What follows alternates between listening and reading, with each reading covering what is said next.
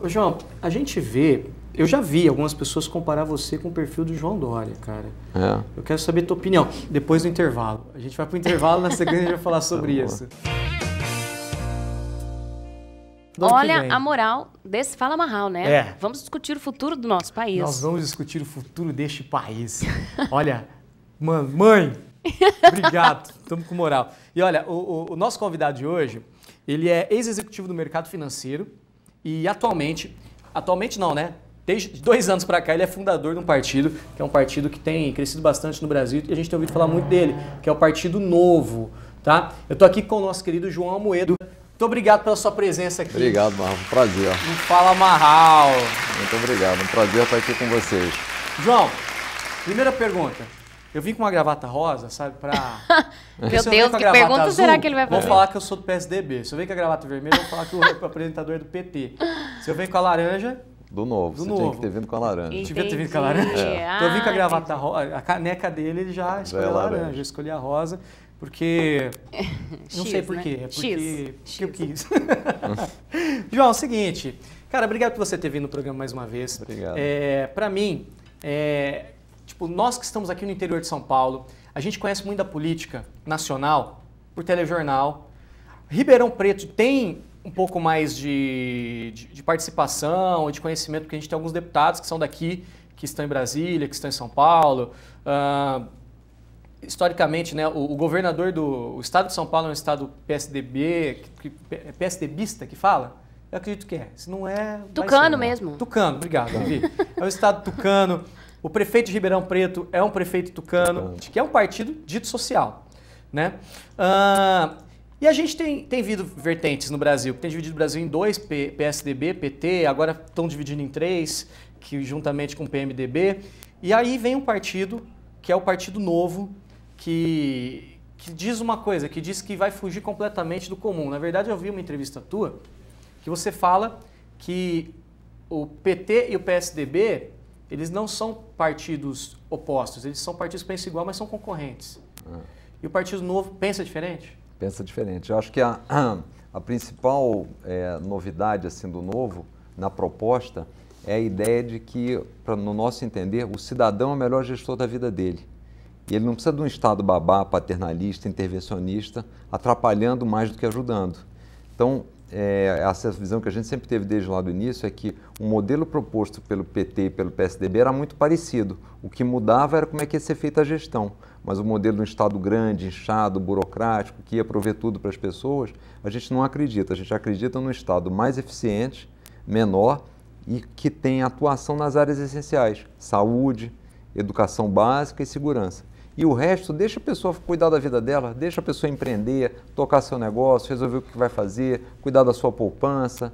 E, e não precisa de um Estado monitorando e tomando conta, de tudo que ele pretende fazer. Né? Então, eu acho que esse é o grande diferencial. É um modelo diferente de Estado. Essa é a proposta do novo. Né? O Partido Novo ele tem quanto tempo? É, a fundação do partido ocorreu, na verdade, em, em fevereiro de 2011, mas os partidos no Brasil têm uma série de burocracias para serem Sim. cumpridas. A gente ficou coletando fichas aí de apoio durante três anos e meio, depois um ano e pouco no, no TSE, e em setembro de 2015 a gente foi registrado como partido. Então, tem um pouquinho mais de dois anos Tá. de existência. Para fundar um partido, você é fundador, um dos fundadores do Partido. Para fundar um partido, você precisa ter um número X já de, de pessoas que já são filiados? Não, na verdade, sim. Você, para fazer a fundação, você precisa de 101 pessoas Uhum. De pelo menos nove estados da federação. Ah, tá. Tem, não me pergunte por que é 100 e não, por que que são Tem que ser 101 e não, 101 e não e não 100. 100. E nove estados da federação. Só que feita a fundação, o partido só pode lançar candidatos, ter filiados, depois que ele obtém o registro no TSE. E para obter... Exato. E para obter o registro no TSE, você tem que ter 500 mil assinaturas autenticadas pelos cartórios eleitorais. Com o Nossa. nome de todos, título de eleitor e assinatura, apoiando a criação do partido. Então, isso nós levamos cerca de três anos e meio para conseguir. Seu João, nesse percurso, vocês sofreram algum tipo de boicote? Porque a Marina, a Marina sofreu, A né? Ela Olha, é difícil a gente saber se aconteceu boicote ou não, mas o fato é que, em média, nós tivemos validadas mais ou menos metade das fichas que nós entregamos nos cartórios. Então, eles diziam que, olha, essa assinatura aqui não bateu com a pessoa a assinatura não está coincidindo com o nome com a Ah, assinatura que entendi. nós temos no cartório. Agora, isso é interessante porque a gente não tinha as assinaturas das pessoas previamente, então a gente não conseguia validar. Mas teve casos, inclusive de fundadores do Novo, que assinaram a ficha e ao submeter a ficha ao cartório, o cartório não validou a ficha dele mesmo. Nossa. Então essa a gente não tinha nem dúvida. Quando você abordava e pegava uma ficha na rua de alguém que estava eh, apoiando o partido, você não tinha depois de saber se ele fez a assinatura corretamente, fez só um rabisco. Mas em alguns casos a gente sabia porque eram pessoas muito próximas ao novo. Né? Ô, ô, João, quando eu te apresentei aqui, eu falei assim, João Moeda, ex-executivo do mercado financeiro e fundador do Partido Novo. É, você vem do mercado é, de- de bancos, né? Você, você até brincou comigo, você nunca, antes de gravar, você nunca foi banqueiro, você foi bancário. É verdade. Eu, eu sempre me considerei bancário porque eu, eu podia ser mandado embora a qualquer momento. Aham. Então, eu comecei como trainee lá no Citibank, nem pretendia trabalhar em banco, eu tinha feito engenharia, administração, queria trabalhar em engenharia. Aí tinha um amigo que estava lá no, trabalhando no Citi e falou, João, vai ter um programa de trainee, vem aqui fazer uma dinâmica. Aí acabei indo e acabei trabalhando quase que 24, 25 anos no, no segmento financeiro. E aí fui, fui crescendo, entrei como trainee, depois virei gerente, aí tive um convite para vir para um banco em São Paulo aqui que estava começando na época, como gerente. E aí quando eu fui sair do Citi, o pessoal disse, ó João, mas você vai sair do, do Citibank para vir para um banco em São Paulo, para que está começando. Eu falei, não, mas eu gosto de desafio. E assim fui indo. Aí depois fui montar essa, a filial do banco no Rio, depois voltei para São Paulo. E depois fui cuidar de uma financeira que o banco tinha comprado. Então, fui crescendo dentro do, do segmento financeiro. Entendi. né? Ah, e o que que fez você é, querer migrar? Porque hoje você fica full time envolvido com, com o Partido Novo. Fico full time, desde a época que eu era era estava como presidente, desde a, a montagem, depois imediatamente virei presidente. Foi, Agora foi esperança, foi medo do- de piorar e falou preciso fazer alguma coisa? Não, na verdade é? foi assim, quando a gente começou, eu, isso foi em 2008, eu jantando com um amigo em São Paulo, eu estava no conselho de administração do Unibanco e estava com tempo disponível. Falei para ele, olha, eu tinha vontade de fazer alguma coisa na administração pública, ajudar de alguma forma a participar, não pensava nada em política, em montar partido, era só tentar ajudar pela experiência que eu tinha tido de, Claro. de gerir empresas no, no mundo privado. E aí ele tinha uns amigos eh, conhecidos lá que eram próximos da política, a gente se aproximou de algumas pessoas, tivemos algumas conversas. E aí quando eu con- conheci alguns políticos, e sempre com a mentalidade da iniciativa privada, eu falei assim, tem que montar um time, tem que ter uma equipe boa para as coisas funcionarem. A minha conclusão lá em 2009, 2010, é de que a gente tinha que trazer gente nova para a política. Gente que tinha tido já experiência na área privada para ir para o mundo público.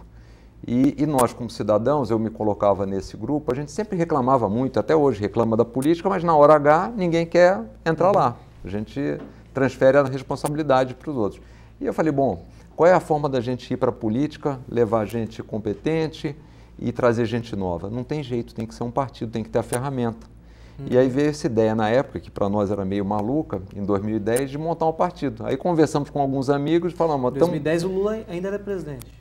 Ah, Nós fizemos as primeiras reuniões no final de 2010 e nessa época, só para a gente lembrar, o Lula estava saindo com a popularidade lá em, cima, cima. tanto é que ele elegeu, o país estava crescendo 7,5%, 8% ao ano, taxa de desemprego 4%. Então não foi por, pra rebol... não foi para tipo, ah, tá ruim, precisa mudar. Não, Não, e é melhor. engraçado porque muita gente diz hoje, ah, vocês estão pegando um momento ótimo para o novo, porque Uhum. a economia está toda ruim. Eu falei, é verdade. Só que isso começou tem sete anos, não foi semana passada. Entendi. Mas assim, qual era a nossa percepção na época? Que a gente pagava muitos impostos e os serviços eram muito ruins. E isso continua igual. Uhum. né? Então foi isso que motivou. E a gente sempre dizia, vamos, ficamos reclamando, a política está no nosso dia a dia, interfere em tudo na nossa vida, e se a gente não participar, isso não vai mudar. Então, assim, esse foi a chamada que a gente fez para esses conhecidos e amigos nossos lá em 2010. E aí foi E, foi, aconteceu. e a gente continua fazendo até hoje. Hoje está mais fácil. É. Né? O novo já é uma realidade, já tem a ferramenta, o país piorou, infelizmente. As pessoas viram como é que a, po- a política é importante, né? Vim- vimos todos esses casos de corrupção, como é que o Estado é, é utilizado contra o cidadão, né? se serve do cidadão e não serve ao cidadão. Então, hoje tem um engajamento muito maior. E, e o, o Partido Novo ele é conhecido por ter ideias liberais, né? Ah, eu- se eu perguntasse para você hoje, a tua visão é mais puxado para a direita, para a esquerda? muitas pessoas vão falar que é um pouco para a direita, mas você vai responder, eu sou liberal. Seria isso? É, assim, o, infelizmente a, a, esse rótulo de esquerda e direita acaba tendo muitas visões, cada um tem a sua visão, em alguns lugares, no Brasil, a questão da direita ficou muito associada à ditadura, né? Uhum. É, então a gente sempre bate muito nos, nos, princípios e valores que a gente acredita, no livre mercado, nas liberdades individuais, no, no indivíduo como agente de mudança, e esses valores claramente aproximam o novo como mais um projeto liberal. Né? E até do nosso ponto de vista, quando a gente começou o novo, é, a gente nem tinha muito isso claro. Mas depois de montar o partido, e o objetivo quando a gente montou era vamos melhorar a vida das pessoas, deixar um país melhor para as próximas gerações, o que a gente começou a olhar ao redor do mundo foi, foi, ver o seguinte, olha, os partidos que têm uma política mais liberal, que têm mais liberdade econômica, são os que mais crescem, uhum. onde a renda por habitante é maior. Então, bom, se é assim, é assim que a gente tem que seguir, esse modelo que a gente tem que seguir. Né? Então, a gente acredita muito que o caminho para o Brasil se tornar um país mais próximo próspera, as pessoas terem liberdade. Para facilitar, por exemplo, o pessoal está em casa que quer entender tipo, de uma forma um pouco mais clara o que, que seria o liberalismo. Você pode me dar um exemplo de algumas ideias liberais? Eu vou dar alguns exemplos. Por exemplo, vindo para o Brasil, uhum. em, em vários setores. Vamos lá, na política. Voto, a gente entende que as pessoas têm que ter liberdade com responsabilidade. Uhum. Então, por exemplo, o, o voto deveria ser facultativo. E não obrigatório. E não obrigatório. Outra coisa que eu gosto de falar muito, porque é muito presente no nosso dia a dia. Todo trabalhador recebe 8% do seu salário pago pelo empregador e é depositado no fundo de garantia. Aí esse fundo de garantia vai para a Caixa Econômica e rende menos que a poupança. Hum. E em determinados momentos o governo, quando quer fazer uma bondade, libera, olha, se você agora ficou desempregado há tantos anos, você pode usar. Mas vem cá, o dinheiro não é nosso? Então, deve... Por que, que eu não posso pegar a hora que eu quiser e por que eu não posso aplicar e investir no melhor investimento? Entendeu? É, então, esse é o tipo de liberdade, por exemplo, montar um negócio, uma série de decisões que o Estado vem e quer determinar o que a gente pode ou não fazer. Né? Então, essa, essa interferência, a abertura de negócio no Brasil, você vai montar uma empresa, demora dias. Você quer fechar, pior ainda. Entendeu? Então, quando você vai em outros lugares, você não tem liberdade, tem uma burocracia muito grande. Então, é ruim porque você não consegue empreender e, ao mesmo tempo, você cria um ambiente propício à corrupção, né? Porque o Estado te coloca tantas dificuldades que ao mesmo tempo agentes do Estado aparecem para vender essas facilidades. Então, isso que a gente quer desmontar. Né? Qual a tua visão, por exemplo, vamos falar do, do Estado. Você tem uma visão mais privatizadora? Totalmente. Eu acho que o Estado não deveria ter empresa nenhuma. Sério? Sério. Porque, vamos lá. Nem as que funcionam, porque tem um monte que não funciona. Ah, mas, mas nem lá. as que funcionam? Indo primeiro no aspecto da liberdade. Né? É razoável que todos nós sejamos obrigatoriamente sócios do Correio? Da Petrobras, do, ban do banco, ninguém chegou para a gente e falou: vocês querem ser sócio do Correio? É, nós somos todos acionistas. Então ninguém nos perguntou. Eu falei: eventualmente eu não queria ser sócio disso, queria ter o meu dinheiro, que foi impostos que eu paguei, usando em outro negócio. Então, pelo aspecto da liberdade, já não faria sentido a gente ter empresas estatais. Segundo ponto: o que, que acontece, o que, que faz uma empresa ir bem?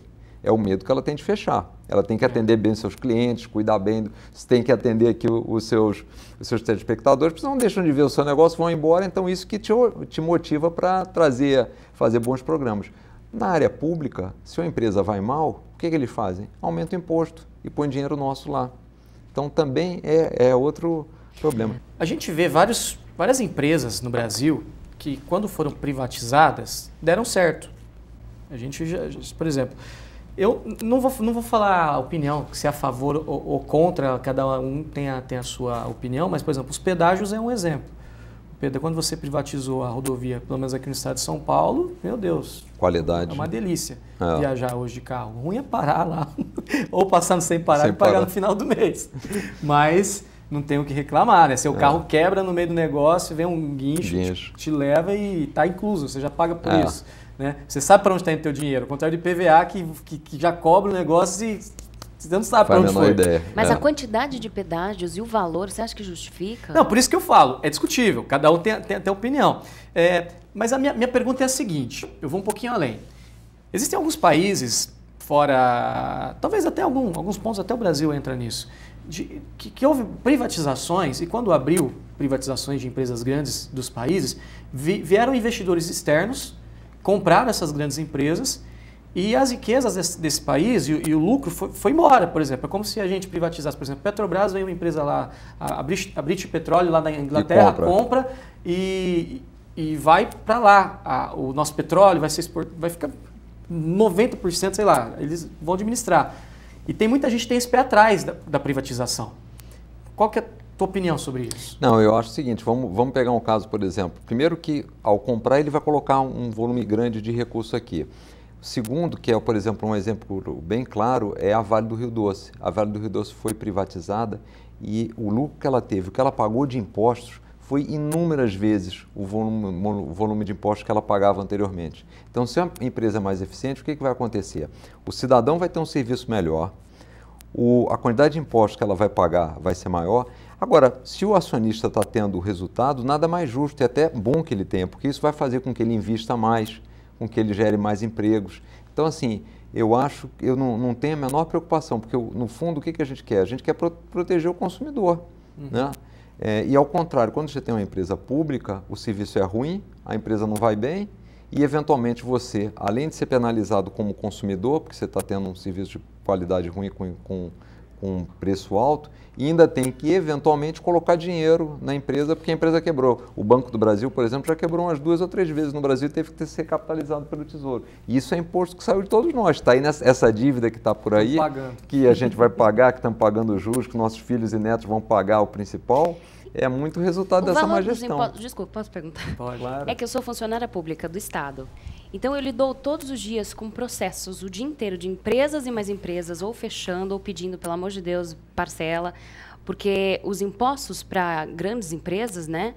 É, é absurdo. Eu acho absurdo. Eu tenho dó dos empresários, sério mesmo. Porque é, ele monta o negócio, ele vai lá, ele vende, faz acontecer e aí, tipo, 18 a 20 a 40% fica para o governo. É. Não é muito injusto?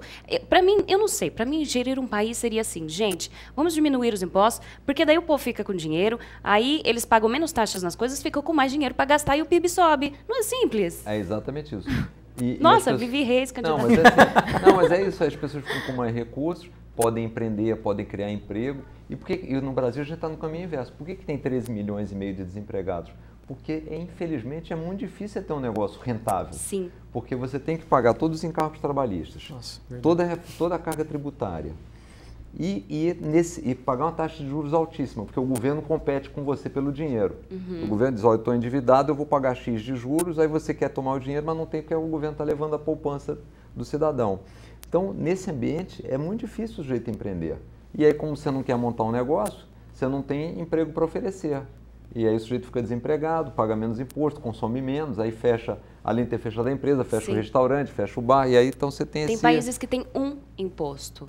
Todos é. pagam tipo um imposto para tudo é. e funciona maravilhosamente bem. São é, civilizações, civilizações, nações prósperas. Uhum. Eu acho que aqui Dos entraria países, em alguma alguma A gente parte... acredita muito nessa tese de dizer o seguinte: o Estado tem que ser menor para que o dinheiro fique no bolso das pessoas vão poder consumir, vão poder empreender, vão poder fazer os seus gastos. Então, e vai ser muito mais eficiente.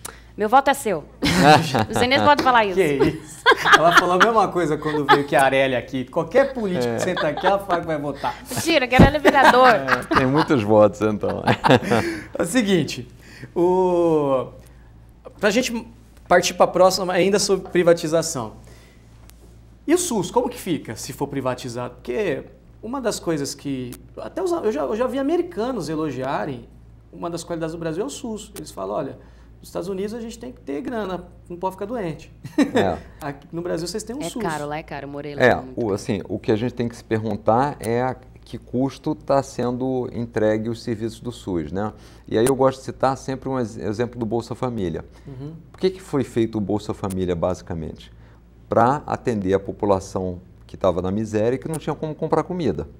O que, que as pessoas fizeram? Deram um cartão, você saca o dinheiro e vai na rede privada e compra comida.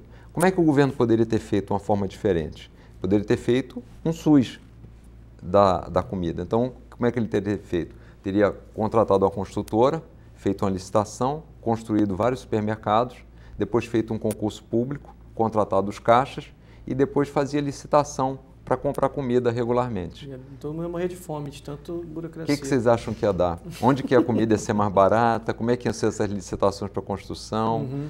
Então, se isso valeu para a comida, será que isso não pode funcionar também para a educação e para a saúde? exemplificando melhor, será que o governo não poderia dar vouchers, por exemplo, para você usar no Numa sistema escola, de saúde ou numa escola e escolher a sua? Então, acho que são coisas, por quê? Porque o, Estado em si é mau gestor. Então, o fato Sim. dele prover, dele garantir, por exemplo, a saúde ou garantir a educação, não significaria que ele necessariamente teria que cuidar de contratar o professor, do quadro, comprar o quadro negro, comprar coisa. Ele poderia dar esse dinheiro e as pessoas com os recursos iriam Sim. na iniciativa privada fazer a sua melhor escolha. Na verdade, é, né? existe... então a gente acredita muito que esse é um modelo que poderia ser testado. Mas aí entra uma, um outro lado que eu acho muito grave da nossa nação. As pessoas querem um governo maravilhoso, as pessoas querem uma pessoa que entre lá e faça do país um país próspero. Porém, a, a, no próprio Bolsa Família é um exemplo. A gente tem vídeo de pessoas falando na TV, é, de uma senhora falando assim, não, mas com o Bolsa Família está impossível comprar uma calça jeans para minha filha, está mais de 300 reais. Vocês assistiram esse vídeo? Já vi, claro. Então, assim, nós temos uma nação corrupta. A mulher está andando com a mídia dos direitos humanos. Como que a gente passa para as pessoas... É, seria o quê? O investimento na educação? É. Na educação mesmo, tipo, malhar a educação nesse país. Educação básica, aquela educação de caráter, de, de, de gentileza, de, de caráter mesmo, né? Que a gente gente tem. É, mas assim, o que eu acho falta, de fato, falta uma educação básica melhor e falta principalmente exemplos. Quem dá o exemplo na nação? São as lideranças. Né? As lideranças empresarial no Brasil, infelizmente, são muito ausentes da política, do cenário. De... Então, são, eu, no meu entender, são até relativamente omissas. E as lideranças políticas, os exemplos que a gente tem, são péssimos. O sujeito Então tá aí a gente, ah, já que ele faz lá, né? Exato, aí então o sujeito está dizendo assim, bom, aquele presidente lá fez um negócio, pegou dinheiro. Aquele outro que era o presidente da, da Câmara foi, roubou, tinha dinheiro fora. O outro fez isso aqui, o governador está lá preso. Então, se a gente não muda os exemplos, se a gente não leva a gente séria que dê bons exemplos, como é que a população vai ter um norte, um referencial? Boa, né? boa isso mesmo. Então, o, o, João, a gente vê, eu já vi algumas pessoas comparar você com o perfil do João Dória, cara. É. Eu quero saber a tua opinião, depois do intervalo. A gente vai para o intervalo, na sequência a gente vai falar sobre tá isso. A gente volta já.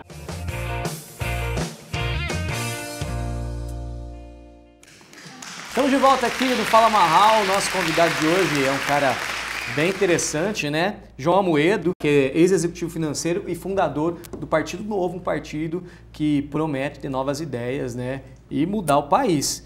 Uh, deixa eu já te fazer essa pergunta. O Partido Novo realmente vai mudar o Brasil? Olha, o, o Partido Novo é uma ferramenta para a gente trazer as pessoas que estão dispostas a trabalhar para mudar o Brasil. O partido é só a ferramenta. Quem Boa. vai mudar as pessoas, o Brasil de fato são as pessoas. Boa. Então o novo é só a plataforma. Você ter falado isso, o Partido Novo é uma ferramenta. Eu vi que vocês não, não procuram, tipo, filiados. Vocês fazem processo seletivo? Como que funciona isso daí? Na verdade, assim, os filiados a gente procura, são todos convidados, até porque o Novo é o único partido dos 35 partidos existentes no Brasil que ele não usa dinheiro público para sua manutenção. Hum. O, o, partido é totalmente sustentado com o dinheiro dos filiados, que fazem, como fili que fazem um depósito de cerca de 29 reais por mês. E, então a gente procura filiado que é justamente o partido poder crescer mais, quer dizer, a velocidade que a gente cresce está diretamente relacionada à quantidade de gente que se junta ao partido. Agora, o que a gente faz é processo seletivo para os candidatos. Ah, entendi.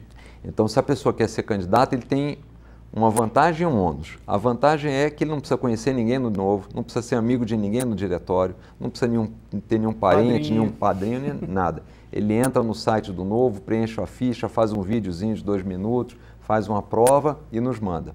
A desvantagem para ele e a vantagem, vantagem para o cidadão, para o eleitor, é que essa pessoa vai passar por um processo seletivo de cerca de quatro a seis meses para a gente validar se ele está alinhado com os valores do novo, se é uma pessoa séria, se ele tem capacidade de colocar suas, suas ideias para um grande grupo de pessoas, se ele é capaz de atrair gente boa para o novo. E aí, se ele tiver essa competência toda, aí ele será um candidato do novo. Qual é a tua opinião sobre uh, candidatura? Por exemplo, existem pessoas que, que acreditam que para você ser político você tem que ter formação universitária, para você exercer um cargo é, no executivo ou legislativo você tem que ter um, um mínimo de conhecimento.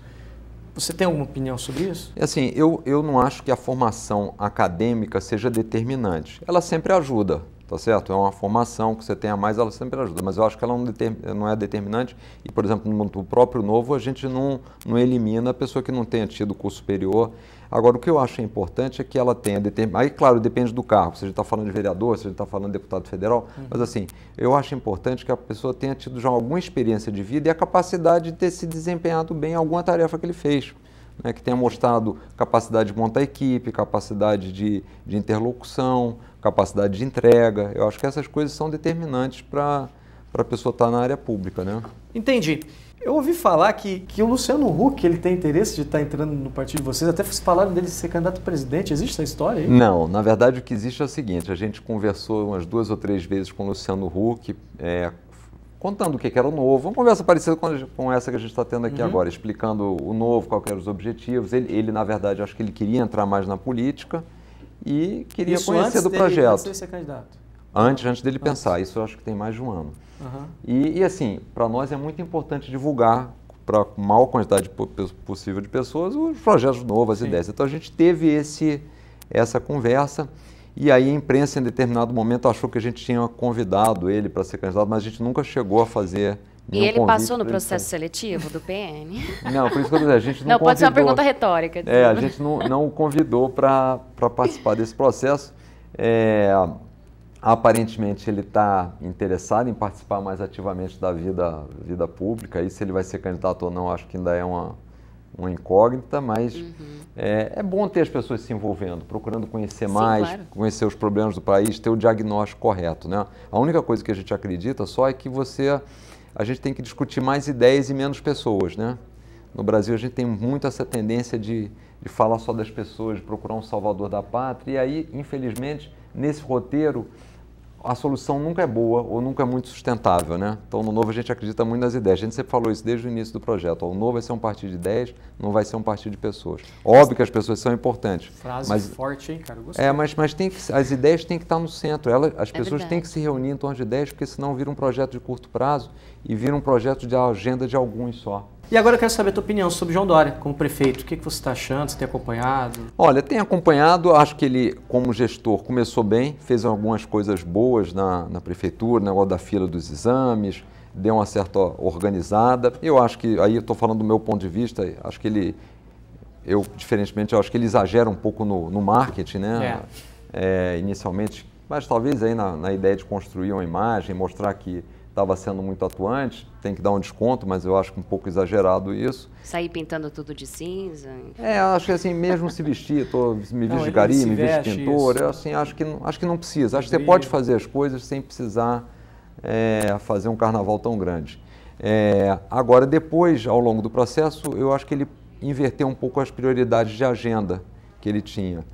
Ele, ah, do, que de, do que ele deveria ter, melhor dizendo. Quer dizer, ele claramente deveria ter como prioridade cuidar da Prefeitura de São Paulo, foi para isso que ele foi eleito. E logo com seis meses ele começou a se, menos até, começou a se deslocar e já pensar numa, numa campanha presidencial. É óbvio que ele vislumbrou uma oportunidade, existe uma demanda enorme por renovação na política brasileira, a gente não consegue ver muitas lideranças, então ele procurou legítimo ocupar esse espaço, mas eu acho que antes da hora. E, e acho que a, a, população teve essa percepção e claramente disse um não. Entendi. Quer dizer, é, é então, eu acho que ele provavelmente vai estar tá, captou essa, ele é uma pessoa inteligente, ele captou esse esse feedback e está voltando. Cuidar de São Paulo. A, a, a arrumar Até mesmo São porque Paulo. não tem nenhum ano como prefeito, né? É, não tem nenhum ano. Os prefeitos foram eleitos, estamos completando aqui 11 meses. É, é. é. Qual a tua opinião sobre o Paulo Scaff, que também é conhecido por, pelo meio empresarial? É, eu conheço pouco assim das ideias dele, assim pessoa que, de novo, estava na área privada, foi para a política.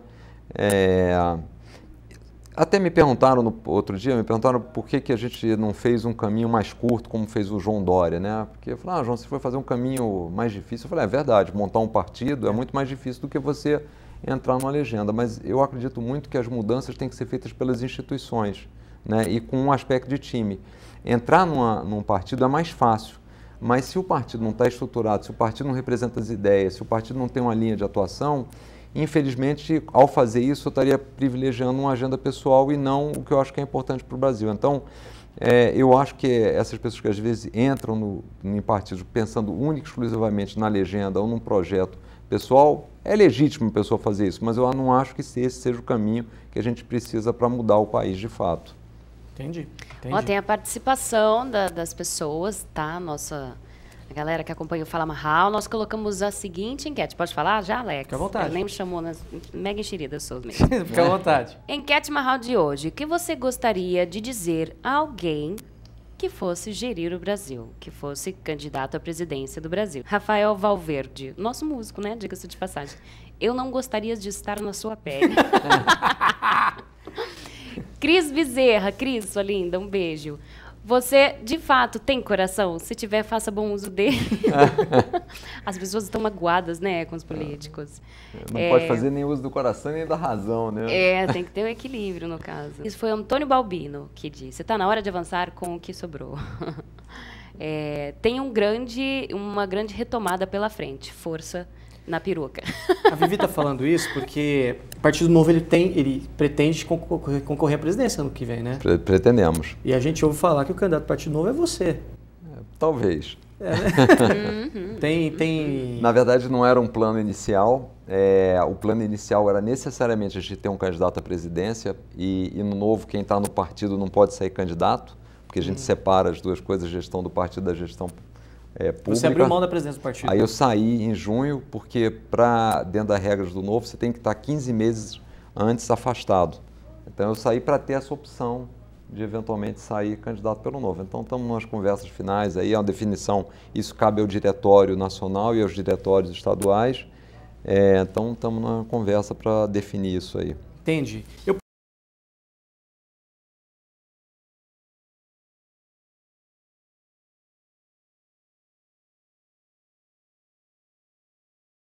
eu fiz uma seleção de alguns é, políticos.